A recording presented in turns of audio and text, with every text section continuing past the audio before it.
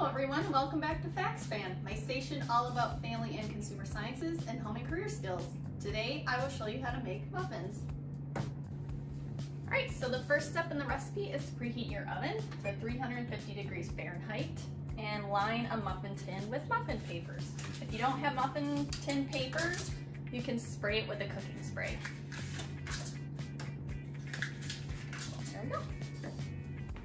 All right, so today I'm gonna make banana nut muffins, but you can make any kind of muffin that you want and you can find a recipe online that you like, or you can use the recipes that I give you in class. So as far as ingredients go, I'm going to start with the dry ingredients. So with making muffins, you're gonna use obviously the muffin method of baking. So with the muffin method of baking, you're going to measure the dry ingredients and the liquid ingredients separately and then combine them until just mixed together, okay? So you're going to need flour, brown sugar, cinnamon, baking soda, and some salt for the dry ingredients. All right, so I'm gonna measure one and three fourths cup of flour. So remember with flour, you wanna stir it first so that it's nice and light and airy and fluffy. You don't wanna pack it, okay? And then I'm going to scoop it into my dry measuring cup.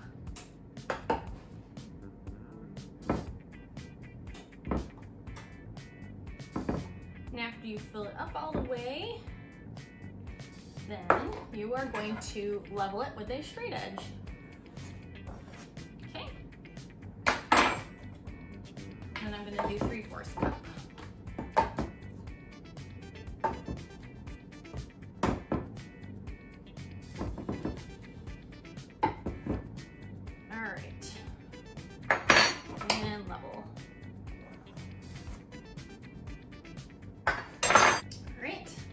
Going to do one teaspoon of baking soda. Okay, so I'm just gonna dip it in there and run it along the top of the box to level it. Put that in my bowl. And then I need one fourth teaspoon of salt. Just gonna dip that right in there and level it.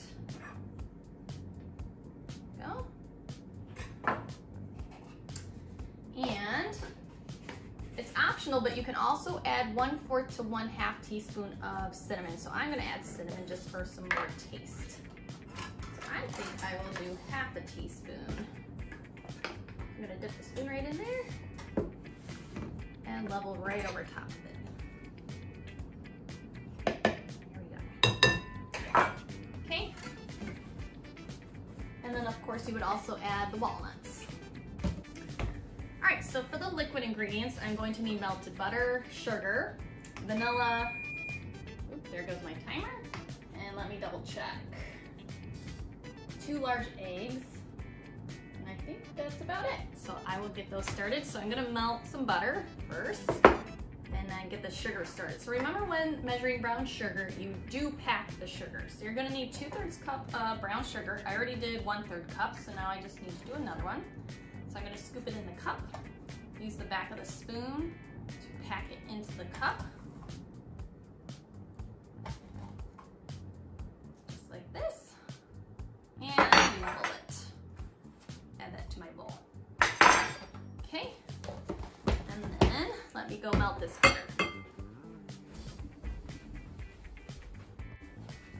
All right, so I got my melted butter. I'm gonna add it to the sugar and I'm gonna whisk them together for about a minute well combined. I'm just gonna use my small whisk here and whisk it for about a minute. All right, so as you can see after about a minute, it gets pretty thick in texture. Okay, so now I'm gonna take some bananas, about two to three very ripe bananas, I'm gonna mash them up. Okay, so let me just get this next one. You can use a fork to mash them or you can use a potato masher, which is what this thing is. So I'm just gonna mash those up really good. So that's gonna take me a minute or two as well. All right, so as you can see, I got that mashed up pretty good. All right. So I'm going to use a rubber scraper to scrape that to this bowl. There we go. All right, now I'm gonna crack open two eggs. Two large eggs. So I usually crack them open in a separate dish just in case I get any eggshell in them. So there's one.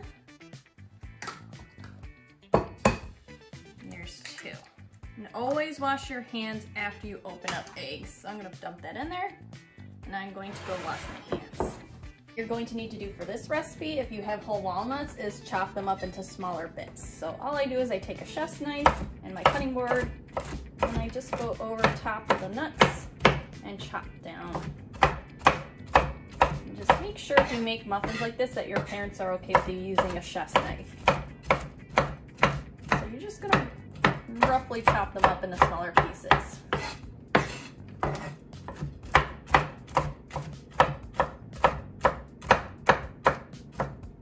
Alright, so that should be pretty good. All right, so now I'm gonna whisk these together until combined. I'm also gonna put in two teaspoons of vanilla. All right.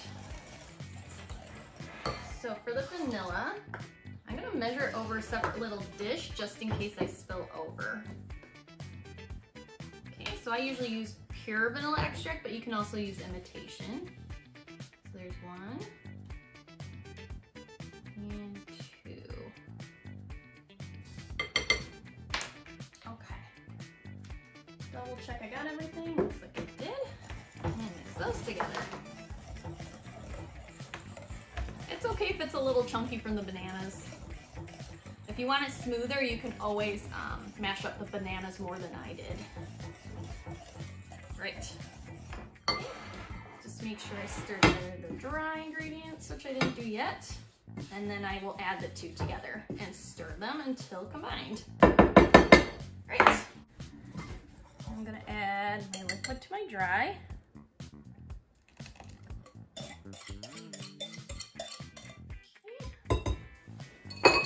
Use a rubber scraper Make sure all the liquid ingredients go into the dry. All right, and then I'm going to stir them together until combined.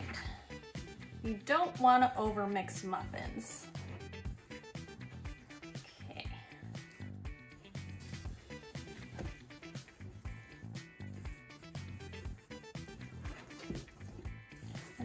I mostly mix this together, then I will fold in the walnuts.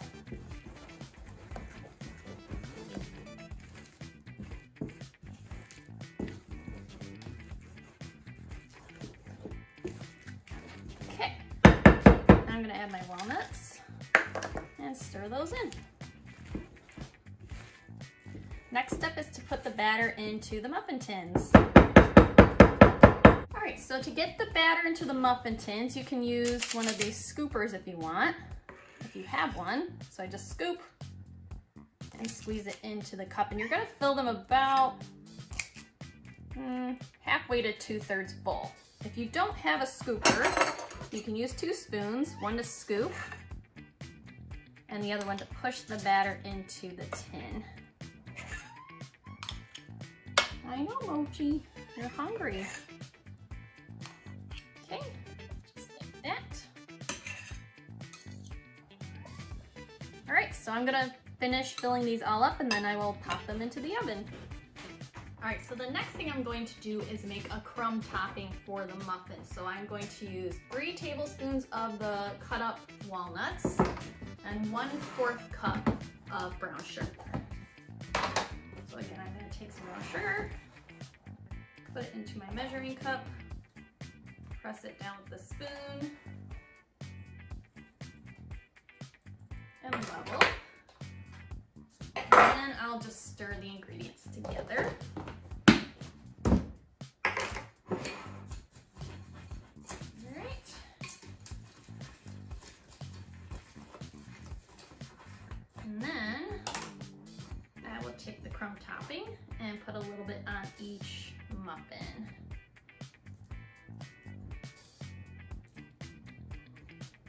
don't need a ton.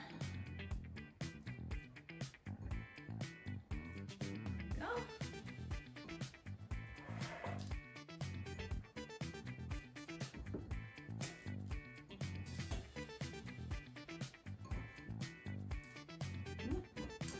Probably could have added a little more nuts to this, so maybe four tablespoons instead.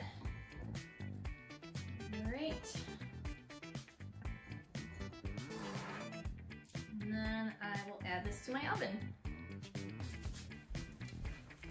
All right, so I have my one muffin tin filled up. Otherwise, they the recipe says they make about 15, but maybe a little bit more. We'll see. So I'm gonna put them in the oven. I'm gonna step to the side, open it a little bit so I don't burn my face. Put them in the top shelf and set my timer for 14 minutes starting out. They take about 14 to 17 minutes, but always start with the lower time and you can always add time if needed. All right, so after 14 minutes, we'll check and see how they're doing. All right, so my timer just went off. I'm gonna take them out and check them.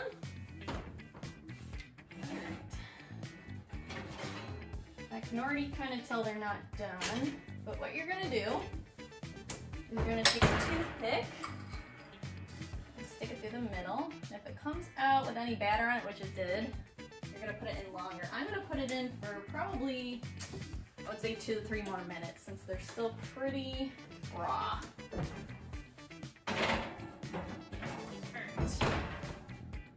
Two, three. So three more minutes.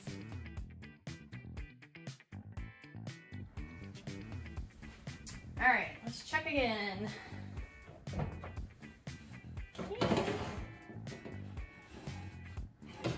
No, no. Don't go there. Okay, my cat tried to get up here. Okay.